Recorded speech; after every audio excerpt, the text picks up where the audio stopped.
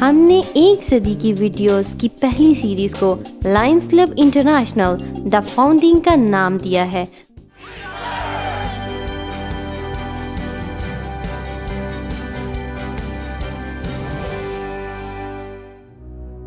انیس سو سترہ تاریخ کا اہم سال تھا جو سماجی اور سیاسی تبدیلی کا بڑا دور ثابت ہوا۔ پہلی عالمی جنگ میں یورپ کا بڑا حصہ متاثر ہوا۔ یو ایس اے نے بھی اسی سال جنگ میں حصہ لیا۔ انڈسٹریل گروتھ بڑھانے کے لیے امریکہ میں سستی افرادی قوت استعمال کی گئی، جس نے لوگوں کو بہت سارے سماجی مسائل کی طرف دھکیل دیا، جس میں چائلڈ لیبر، گندی بستیوں کا قیام، تعلیم کا بحران اور متعدی امراض میں اضافہ شامل تھے۔ شکاگو کا شہر ایلینوائے ٹرانسپورٹ فنی تعمیر، مینوفیکچرنگ اور تجارت کا مرکز تھا۔ شکاگو میں حالات بہتر ہونے کی وجہ سے ہجرت کر کے جانے والے واپس آنا شروع ہو گئے، جن میں ہل ہاؤس کے بانی جینس ایڈم بھی شامل تھے۔ انہوں نے کمیونٹیز اور ملک بھر میں حالات کی بہتری کا مطالبہ کیا۔ اس مقصد میں میلوین جانس بھی شامل ہو گئے، جو ایک کامیاب انشورنس ایجنٹ تھے۔ اور شکاگو بزنس سرکل کے سیکرٹری تھے۔ یہاں موجود ایک لنچ کلب نے ان کے مقاصد کو فروغ دینے میں مدد کی۔ تاہم میلوین جانس کی سوچ منفرد تھی۔ میرے خیال میں جب تک آپ دوسروں کی مدد کرنا شروع نہ کریں گے تب تک آگے نہیں بڑھ سکتے۔ مجھے یقین ہو چکا ہے کہ میں کچھ کلب کی مدد کر سکتا ہوں۔ ہم سب درد دل رکھتے ہیں۔ مالوین جونس کے الفاظ نے کلب کی ارکان پر گہرا اثر کیا۔ سرکل نے جونس کو اجازت دی کہ وہ ملک بھر میں اپنی طرح کی سوچ رکھنے والے گروپس کے ساتھ ایک بڑی میٹنگ کا انعقاد کریں تاکہ ایک نئی کلب کی شروعات کی جائے۔ ہم اپنی تنظیم کو بین الاقوامی سطح پر لے جانا چاہتے ہیں جس میں شامل ہونے کے لیے آپ کو دعوت نامہ بھیج رہے ہیں۔ اور آنے والے دنوں میں تنظیم کا نام اور قواعد و ضوابط طے کریں گے جو سب کے لیے مناسب ہوگا۔ سات جون انیس سو سترہ۔ پہلی میٹنگ شکاگو کے ہوٹل لاسل میں رکھی گئی، جس میں the business circle of Chicago اور کئی دوسرے گروپس بھی شامل ہوئے۔ ڈاکٹر ولیم ورڈز اپنے وفد کے ہمراہ تھے، جس کا نام لائنس کلب رکھا گیا تھا۔ اس گروپ کو ایڈیانا میں انیس سو چھ میں باقاعدہ طور پر رجسٹر کیا گیا تھا۔ ولیم نے میٹنگ کا آغاز کیا اور نئے کلب کے مقاصد بیان کیے۔ سننے والوں کا رد عمل مثبت رہا۔ ڈاکٹر وڈ نے تمام گروپوں کو مشورہ دیا کہ ان کا نام لائنس ہونا چاہیے اور ہر ممبر ایک ڈالر سالانہ عطیہ دے گا۔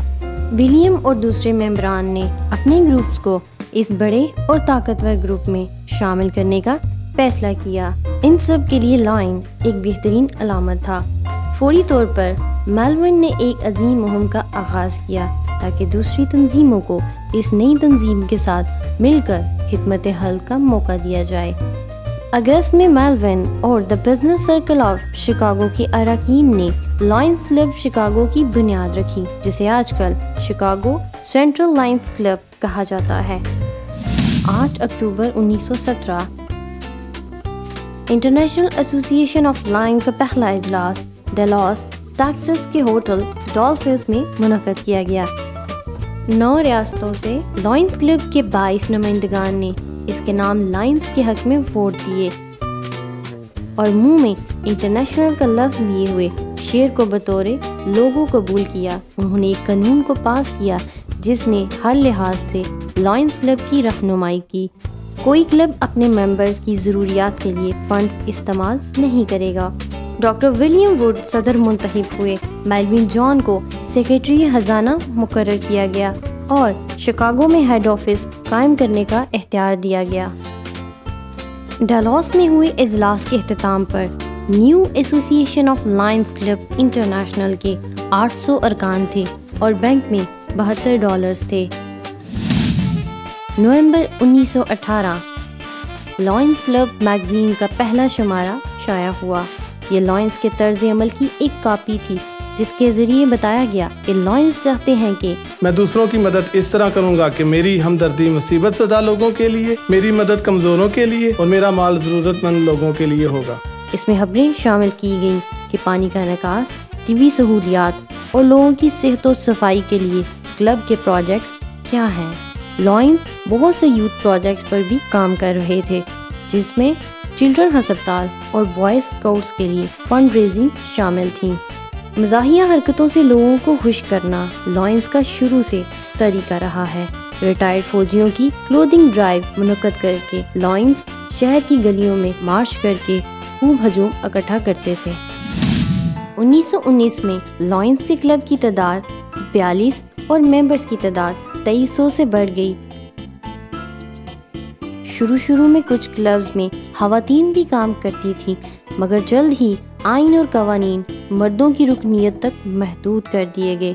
یہاں تک کہ ستر سال گزر گئے اور انیس سو ستاسی میں دوبارہ بطور ممبرز شامل کر لیا گیا۔ انیس سو بیس میں لائنس کلب کی بنیاد رکھی گئی۔ بہت ساری خواتین نے رضاکارانہ طور پر خاندان سمیت بطور لائنس لوگوں کی خدمت کی۔ انیس سو بیس Ontario Canada border cities lion club کی بنیاد رکھی گئی، جسے اب ونڈسر لائنس کلب کہا جاتا ہے۔ اس طرح یہ کلب بن گیا لائنس کلب انٹرنیشنل